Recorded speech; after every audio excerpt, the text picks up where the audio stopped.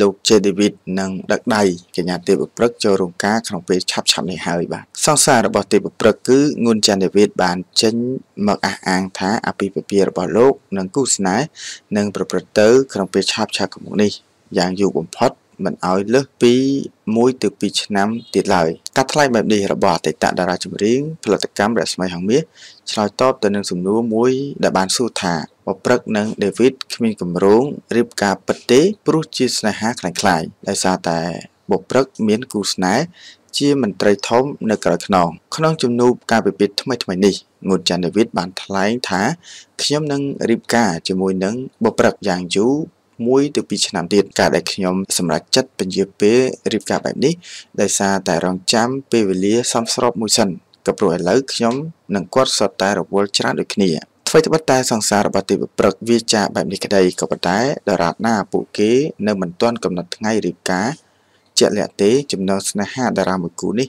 នៅតែប្រែប្រួលបានគ្រប់ពេលវេលាទាំងអស់ក៏ព្រោះថាកន្លងមកក៏មានភាពប្រកម្មប្រកោស ជាមួយគ្នាផងដែរក៏ប៉ុន្តែមហាជនមួយចំនួនបានលើកឡើងថាបុព្រឹកនិងដេវីតមិនហ៊ានរៀបការនោះទេក៏ព្រោះថាពួកគេខ្លាចប្រឈមនឹងការធ្លាក់កូដហើយលេងលឺ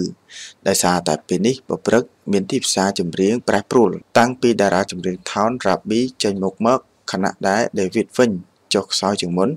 ក្រោយពីកូនប្រុស ទាំង3របស់លោកព្រឹសវត្តចូលហងមាសមុនចាន់ដាវីតបន្ថែមថាខ្ញុំមិនមានការបារម្ភលើរឿងខ្លាចរៀបការហើយលែងមានអ្នកគ្រប់គ្រងនោះទេព្រោះអីខ្ញុំជាមួយគាត់អ្នកណាក៏ដឹងដែរអញ្ចឹងដូចជាមិនអីទេខ្ញុំមិនទាន់រៀបការឆាប់ឆាប់នេះទេដោយសារតែយើងចាំ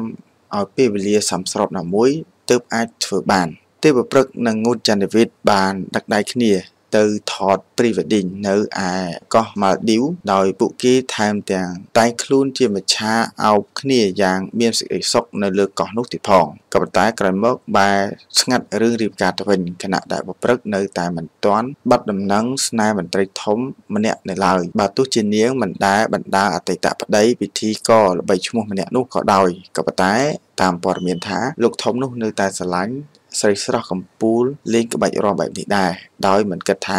ពេលនេះបរោះដែលនៅក្បែរកាយានាងទាំងយប់ទាំងថ្ងៃគឺងួនច័ន្ទដេវីតក៏ដោយក៏ប៉ុន្តែដំណឹងស្នេហាដ៏ចម្រុងចម្រាស់ទាំងនេះរបស់បុព្រឹកនឹងរលត់ទៅវិញមិនខានប្រសិនបើនាងពិតជាហ៊ានរៀបការជាចំហជាមួយនឹងលោកដេវីតនៅពេលខាងមុខនេះដោយការអះអាងរបស់អតីតតារាចម្រៀង ហងមាសរូបនេះទីប្រព្រឹត្តមានទីផ្សារចម្រៀងប្រែប្រួលនៅពេលដែលរ៉ាប៊ីរបស់ផលិតកម្មថោនចេញ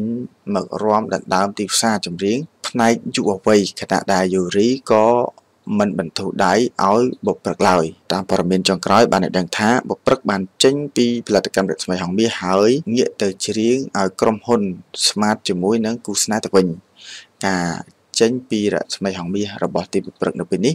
ក្រោយពេលការមកដល់ហងមាសជាលើកទី2របស់ពេជ្រសូលីកាដែលជាស្រីស្អាតមានទាំងសម្លេងនិងសមត្ថភាពមិនក្រោមបុព្រឹកឡើយក៏ប៉ុន្តែអ្នកខ្លះទៀតថាបុព្រឹកត្រូវបានហងមាសបដិសេធកងត្រាថ្មីទើបនាងបានចាក់ចេញតាមសង្សារយ៉ាងណា ទាំងបុព្រឹកនិងអ្នកដឹកនាំហងមាសលោកកៅសិហាព្យាយាមប្រកែកដំណឹងនេះបរិយាពលអត្ថបទព័ត៌មានមួយនេះខ្ញុំបាទសូមបញ្ចប់តែប៉ុណ្ណេះ ខ្ញុំបាទសូមអរគុណសូមជម្រាបលា